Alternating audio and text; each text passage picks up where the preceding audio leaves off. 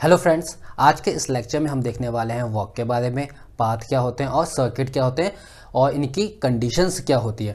तो जितने भी हम देखने वाले हैं वॉक पाथ सर्किट ये सारी चीज़ें हम देखेंगे आपके पास अनडायरेक्टेड ग्राफ में। आगे आने वाले लेक्चर्स में यही चीज़ हम देखेंगे डायरेक्टेड ग्राफ में भी, लेकिन आज हम देखते हैं कि वॉक पाथ सर्किट आपके पास अनडायरेक्टेड ग्राफ में क्या होते हैं और इनकी कंडीशंस क्या होती हैं। तो आइए स्टार्ट करते हैं आपके पास पहला टॉपिक वॉक से। मैंने कुछ इंपॉर्टेंट पॉइंट्स लिखे हुए हैं आपके पास वॉक की। पहला पॉइंट आपके पास the finite alternative sequence of vertices and edges means जो आप, जो आपके पास एक वॉक है वॉक के आपके पास एक सीक्वेंस है। एक ऐसा सीक्वेंस है जिसमें आपके पास वर्टिसेस भी आती हैं और आपके पास एजेस भी आते हैं। मींस आपके पास वर्टेक्स जो लेकिन जो स्टार्ट होगा वो किससे होगा? एक वर्टेक्स से। और एंड किससे होगा? वॉक एक वर्टेक्स से। ठीक? तो मीन्स आपके पास वर्टेक्स आएगा फिर एज फिर वर्टेक्स फिर एज फिर वर्टेक्स एंड देन एज और फिर एंड किससे होगा? किसी ना किसी एक वर्टेक्स से ही एंड होगा, ठीक? सेकेंड है आपके पास no edge appears more than one कि आपका जो वॉक है वॉक में जो आपके पास एजेस होंगे, वो एजेस आपके पास रिपीट नहीं होनी चाहिए। एक एज आपके पास एक ही बार आनी चाहिए, ठीक है?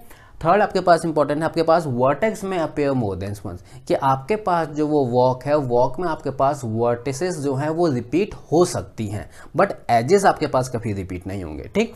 तो यह है एक एग्ज़ाम्पल एग्ज़ाम्पल से समझते हैं कि वॉक होता क्या है, ठीक है? वॉक क्या होता है? आपके पास एक सीक्वेंस है जिसमें आपके पास स्टार्ट होगा किसी एक वर्टेक्स से और एंड होगा किसी एक वर्टेक्स से, ठीक है? ये लेट सपोज़ क्या है? एक वर्टेक्स है और ये भी क्या है? दूसरा वर्टेक्स है कि स्टार्ट भी किसी वर्टेक्स से होगा और एंड भी किसी वर्टेक्स से होगा। अब इसमें दो पॉसिबिलिटीज़ हैं कि आपके पास लेट सपोज़ मैं स्टार्ट कर रहा हूँ ए से एंड हूँगा मैं बी पे या ये भी आपके पास पॉसिबिलिटी है कि मैं स्टार्ट हो रहा हूँ ए से और एंड भी हो जाऊँ मैं एक ए से? क्योंकि हमको क्या करना है आपके पास? ये भी तो वर्टेक्स ही है। ठीक? दोनों चीज़ें देखते हैं आपके पास। क्या क्या चीज़ें होती हैं दोनों? ठीक? पहला लेट सपोज़ मैं एक वॉक बनाना चाह रहा हूँ जो मैं आपके पास वर्टेक्स ए से वर्टेक्स डी तक पहुँच सकूँ। ठीक है? तो क्या हो सकता है? ए से स्टार्ट मीन क्या है आपके पास? एक सीक्वेंस जो एक वर्टेक्स से स्टार्ट होगा।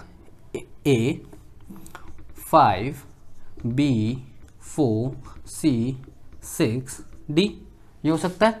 मैं ए एज नंबर फाइव का यूज़ किया बी पे पहुँचा एज नंबर फोर का यूज़ किया सी पे पहुँचा एस नंबर सिक्स का यूज़ किया डी पे पहुँचा।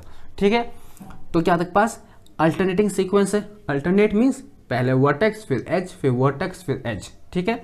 जिसमें आपके पास पहला वर्टेक्स ए है और एंडिंग वर्टेक्स मीन्स क्या? स्टार्टिंग वर्टेक्स ए है और एंड वर्टेक्स क्या है आपके पास? डी जो मेरे को करना था। मेरे को ए से स्टार्ट होना था और डी पे एंड होना था। ठीक है? क्या कोई एज रिपीट हो रहा है? एज मीन्स फाइव या फोर है या सिक्स है। कोई एज रिपीट नहीं हो रहा है तो ये क्या है आपके पास? एक क्या है? वॉक है, जिसमें स्टार्टिंग और एंडिंग वर्टेक्स आपके पास डिफरेंट है। ऐसा भी हो सकता है कि दो वर्टिसेस के बीच में मेरे पास एक से ज़्यादा वॉक हो। दूसरा क्या हो सकता है मेरे पास? A two D A one D. A two D में भी मैं पहुँच सकता हूँ। मेरे को तो पहुँचना है ए से डी तक। ये भी वॉक हो सकता है और ये भी वॉक हो सकता है। ठीक है? मीन्स आपके पास सिंपल सा कहने का मतलब है कि दो वर्टिसेस के बीच में मेरे पास एक से ज़्यादा वॉक हो सकता है। और जितने भी मेरे पास वॉक है पाथ है सर्किट है, ये सब चीज़ में किसमें निकालता हूँ? आपके पास कनेक्टेड ग्राफ में। क्या निकालता हूँ? कनेक्टेड ग्राफ क्योंकि ये डिसकनेक्टेड ग्राफ में ये नहीं निकलते। ठीक है? अब आपके पास क्या है? आपके पास, क्योंकि डिसकनेक्टेड ग्राफ में क्या है आपके पास कि कोई वर्टेक्स ऐसा हो जो डिसकनेक्टेड हो तो मैं लेट सपोज़ ये आपके पास कोई ग्राफ है तो मैं इस वर्टेक्स और इस वर्टेक्स के बीच में ना ही मैं आपके पास पाथ निकाल पाऊँगा, ना ही आपके पास वॉक निकाल पाऊँगा, ना सर्किट निकाल पाऊँगा, ठीक? तो जितनी चीज़ पढ़ रहे हैं हम कनेक्टेड ग्राफ के लिए, ठीक? ये तो हो गया आपके पास वॉक ए से आपके पास डी तक। अब ऐसा भी हो सकता है कि मेरे को उसी वर्टेक्स से स्टार्ट होना है और उसी वर्टेक्स पे एंड होना है, ठीक? ये भी आपके पास पॉसिबिलिटी है। तो ऐसा भी हो सकता है कि लेट सपोज़ मैं ए से स्टार्ट हो रहा हूँ और ए पर ही एंड हो रहा हूँ। तो क्या क्या है आपके पास? A two D one A A से स्टार्ट ए पे एंड ठीक है? क्या कोई एज रिपीट हो रही है? नहीं, यहाँ टू है, यहाँ वन है, ठीक है? या दूसरा आपके पास ये भी हो सकता है। A five B four C six D two A A पे स्टार्ट ए पे end five four six two कोई एज रिपीट नहीं हो रही है तो ये भी पॉसिबिलिटी है। या A B seven B four C three A ये भी पॉसिबिलिटी आप जितने चाहें, उतने आप, क्या बोलते मैंने बोला कि आपके पास दो वर्टेक्स हैं ए और ए है तो दो वर्टेक्स आपके पास, ठीक है? तो उनके बीच में आपके पास नंबर ऑफ़ वॉक्स पॉसिबल है, ठीक है? अब क्या हो सकता है, हमारे पास ये दो कंडीशन हो गई कि आपके पास स्टार्टिंग आपका दूसरा वक्त ए है एंड आपके पास लेट सपोज़ डी है और दूसरे केस में स्टार्टिंग ए है और एंड भी ए है तो नॉर्मली क्या बोलते हैं? अगर आपके पास स्टार्टिंग वर्टेक्स और एंड वर्टेक्स अलग अलग हैं तो इनको क्या बोलते हैं हम? ओपन वॉक क्या बोलते हैं? ओपन वॉक और स्टार्टिंग और एंड वर्टेक्स अगर सेम है तो इसको क्या बोलते हैं हम? क्लोज वॉक ठीक है? तो मीन्स सिंपल हम वॉक हम देखें तो वॉक आपके पास दो कैटेगरी हो गई इसके पास। एक हो गई आपके पास ओपन, एक हो गई आपके पास क्लोज। ओपन वॉक मीन्स आपके पास स्टार्टिंग और एंड वर्टेक्स अलग अलग जैसे मैंने पहला बताया था ए और डी अलग अलग थे तो वो आपके पास ओपन वॉक क्लोज जिसका स्टार्टिंग और एंड वर्टेक्स आपके पास सेम तो आपके पास कोई भी सीक्वेंस गिवन हो तो आप इजीली पहचान लेंगे कि वो ओपन है कि क्लोज लेट्स सपोज़ मैंने A three C six D ये कौन सा वॉक है आपके पास? देखिए स्टार्टिंग और एंड क्या है? अलग अलग तो ये क्या आपके पास? ओपन अगर मैंने बोला आपके पास बी सेवन बी ठीक है? ये भी एक वॉक है। वर्टेक्स से स्टार्ट हो रहा है वर्टेक्स पे खत्म हो रहा है, बीच में एक एज है अल्टरनेटिव सीक्वेंस है। तो ये क्या हो गया आपके पास? क्लोज वॉक ठीक है? तो आप बस इनिशियल और फाइनल वर्टेक्स को देख के बता सकते हैं कि आपका ओपन वॉक है कि क्लोज वॉक है। ये तो ये तो था आपके पास सिंपल सा वॉक, कितने टाइप के आपके पास वॉक होते हैं और कुछ आपके पास एग्ज़ाम्पल। और अब देखते हैं आपके पास पाथ क्या होता है और आपके पास सर्किट क्या होते हैं। आइए अब देख लेते हैं पाथ की, पाथ क्या होता है। पाथ क्या है? It's a open walk it's an open walk means आपके पास जो पाथ है, वो क्या है? एक तरीके का ओपन वॉक है। क्योंकि हमने अभी पढ़ा कि आपके पास वॉक क्या होता है? आपके पास एक होता है ओपन वॉक, एक होता है आपके पास क्लोज वॉक। ठीक, ओपन वॉक वो जिसमें आपके इनिशियल और फाइनल वर्टेक्स क्या होता है? अलग अलग तो ओपन वॉक से ही आगे हमारे पास बना है क्या? पाथ। और क्लोज वॉक से आगे जो हम कंडीशंस लगाते हैं थोड़ा और तो उसमें क्या बन जाता है? आपके पास सर्किट क्या बन जाता है सर्किट ठीक? तो आपके पास जो पाथ है पाथ क्या है? एक तरीके का ओपन वॉक है। ओपन वॉक मीन्स इनिशियल और फाइनल वर्टेक्स क्या होंगे? हमेशा अलग ही होंगे। सेकेंड पॉइंट है no vertex appears more than once means जो भी आपके पास पाथ बनाएँगे, उसमें जो भी आपके पास सीक्वेंस होगा, उसमें वर्टेक्स रिपीट नहीं होगा। उसमें क्या होगा? वर्टेक्स रिपीट नहीं होगा। और एजेस तो एजेस ही एजेस भी आपके पास रिपीट नहीं होंगी। क्यों? क्योंकि पाथ क्या है? एक तरह का ओपन वॉक है। और वॉक और वॉक की तो आपके पास मेन कंडीशन ही यही होती है कि उसमें एजेस रिपीट नहीं होनी चाहिए। तो आपके पास पाथ की में आपके पास दो मेन कंडीशन हो गई कि आपके पास पाथ में ना ही एजेस रिपीट होंगे और ना ही वर्टेक्स रिपीट होंगे। ठीक? पहली चीज़ ये। और दूसरी चीज़ ये, आपके पास जो इनिशियल और फाइनल वर्टेक्स होगा, वो क्या होगा? हमेशा अलग ही होगा। थर्ड है आपके पास number of edges in a path is called the length of the path mean जो भी आप सीक्वेंस बनाएँगे, उसमें आपके पास जितने भी नंबर ऑफ़ एजेस होंगे, पाँच एज आ रहे हैं या दो एज आ रहे हैं तो वो क्या कहलाते हैं? उस पाथ की लेंथ ठीक? तो एग्ज़ाम्पल से समझते हैं कि आपके पास पाथ एक्चुअली होता क्या है. पाथ का मीन्स पहली कंडीशन आपके पास इनिशियल और फाइनल वर्टेक्स अलग अलग अगर मैं बोलूँ कि आपके पास ए फाइव बी ये क्या कोई पाथ है या नहीं है? तो हाँ ये पाथ है क्योंकि आपके पास इनिशियल और फाइनल वर्टेक्स अलग अलग हैं और कोई एज भी रिपीट नहीं हो रही है तो ये क्या आपके पास पाथ है। अब मैं बोलूँ कि A two D six C three A five B क्या ये मेरे पास आपके पास पाथ है? तो क्या इनिशियल और फाइनल वर्टेक्स दोनों क्या है? अलग अलग है। तो ये क्या है? एक तरीके का ओपन वॉक है। मीन्स पाथ के लिए पहले हम देखते हैं कि पाथ क्या होना चाहिए। ओपन वॉक होना चाहिए। फिर ओपन वॉक के बाद हम एक और कंडीशन लगाते हैं कि उसमें वर्टेक्स भी रिपीट नहीं होनी चाहिए। तो ए और बी दोनों वर्टेक्स क्या है? अलग अलग है। इसका मीन्स ये क्या? ओपन वॉक है। अब देखते हैं क्या कोई इसमें एज रिपीट हो रही है? Two six three five edges repeat नहीं हो रही है। मीन्स सिंपल ये, क्या है ओपन वॉक क्या ये ओपन वर्क पाथ है या नहीं है? अब वर्टेक्स देखते हैं। ए डी सी ए ए जो आपके पास वर्टेक्स है, वो रिपीट हो गया।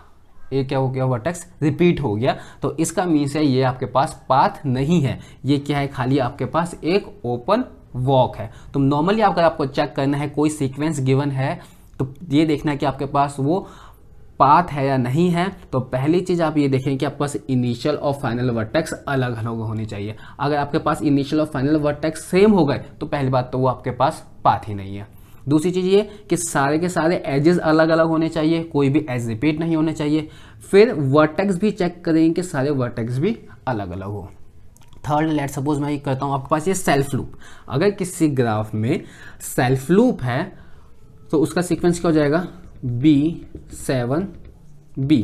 क्या ये पाथ है? सिंपल, आप ज़्यादा मत खाली आप जो कंडीशंस है वो लगा लीजिए।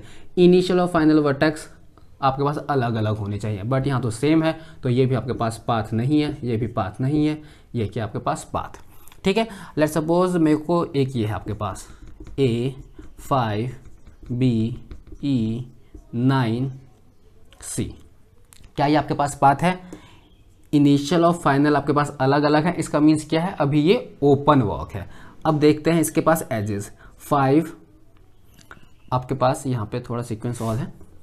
बी के बाद है आपके पास एट ई नाइन सी ठीक है? इनिशियल फाइनल आपके पास अलग अलग यहाँ आपके पास एजेस है फाइव एट एंड नाइन ठीक है? जो एजेस हैं, वो भी सब अलग अलग है मीन्स अभी तक ये क्या है? ओपन वॉक है। अब देखते हैं वर्टेक्स यहाँ ए है, यहाँ बी है, यहाँ ई e है, यहाँ सी है। कोई वर्टेक्स भी रिपीट नहीं हो रहा तो मीन्स ये क्या है? आपके पास एक ओपन वॉक है। ये क्या है? ओपन वॉक ठीक है? अब देख लेते हैं कि इसकी लेंथ कैसे निकाले जाए। लेट सपोज़ ये ये क्या मेरा एक तो इसमें नंबर ऑफ़ एजेस क्या है? वन एक ही एज आ रही है तो इसकी लेंथ क्या हो गई? वन इसमें नंबर ऑफ़ एजेस क्या है? Five eight nine number of edges कितनी है? थ्री तो इसकी लेंथ क्या हो गई? थ्री तो इस तरीके से आप पता कर सकते हैं कि कोई भी आपके पास सीक्वेंस आपके पास पाथ है या नहीं है।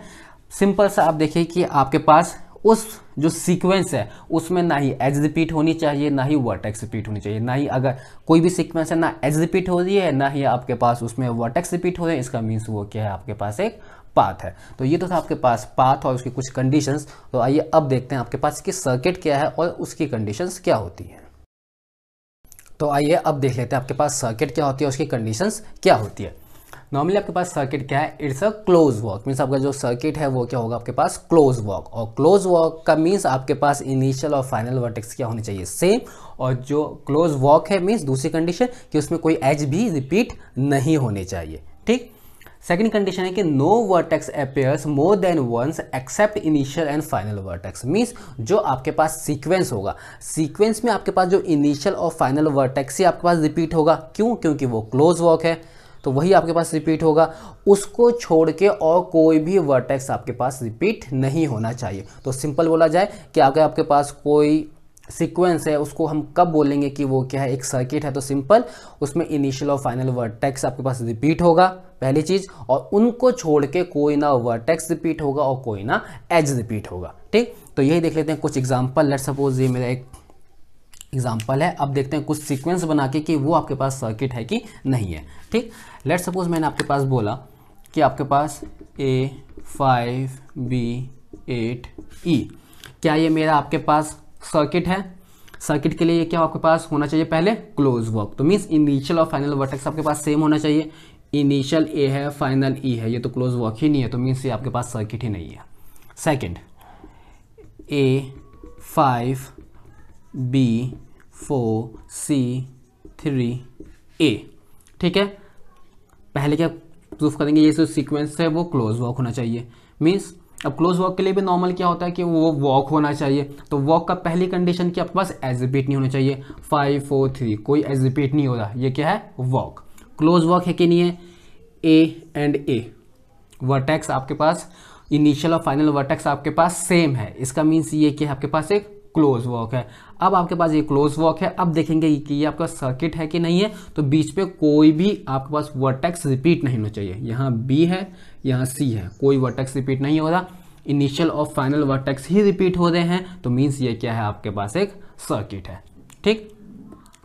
एक और ले लेते हैं। Let suppose B seven B क्या ये आपके पास सर्किट है? देख लीजिए। इनिशियल और फाइनल वर्टेक्स सेम है, बीच में कोई और वर्टेक्स है ही नहीं एज भी है तो एक है तो मीन्स ये क्या आपके पास सर्किट है। ठीक है, एक और देख लेते हैं। लेट सपोज़ है मेरा C nine E eight B seven B four C ठीक है, अब पहले देख लेते हैं कि ये आपके पास एक वॉक है कि नहीं है। ठीक है, ठीक तो वॉक में मीन्स एजेस रिपीट नहीं होना चाहिए, यहाँ nine eight seven four edges repeat नहीं है। इसका मीन्स है क्या है? आपके पास एक वॉक है। अब देख लेते हैं कि ये क्लोज वॉक है कि नहीं है। इनिशियल और फाइनल वर्टेक्स मेरा सेम है। इसका मीन्स है कि आपके पास क्लोज वॉक है। हो गया? अब क्लोज वॉक है। अब क्लोज वॉक आपके पास सर्किट कब बनता है? जब उसमें आपके पास कोई और वर्टेक्स रिपीट ना हो। इनिशियल और फाइनल को छोड़ के और कोई वर्टेक्स यहाँ क्या आपके पास ई e, यहाँ क्या है? बी ये क्या है बी यहाँ पे देखना है कि आपके पास बी जो है, आपके पास रिपीट हो जा रहा है तो मीन्स ये आपके पास क्या है? सर्किट नहीं है। ये क्या है खाली एक क्लोज वॉक है। तो ये आपके पास सर्किट नहीं है, ये आपके पास एक सर्किट है, ये आपके पास एक सर्किट है और ये आपके पास सर्किट नहीं है। तो इस तरीके से आप पहचान सकते हैं कि कोई भी सीक्वेंस है कि वो मेरा वॉक है या सर्किट है या पाथ है, कुछ भी हम इजीली फाइंड आउट कर सकते हैं या हमको क्वेश्चन गिवन है। तो हम निकाल सकते हैं क्योंकि एक ग्राफ के अंदर मेरे एक से ज़्यादा पाथ हो सकते हैं, एक से ज़्यादा वॉक हो सकते हैं, एक से ज़्यादा सर्किट भी हो सकता है।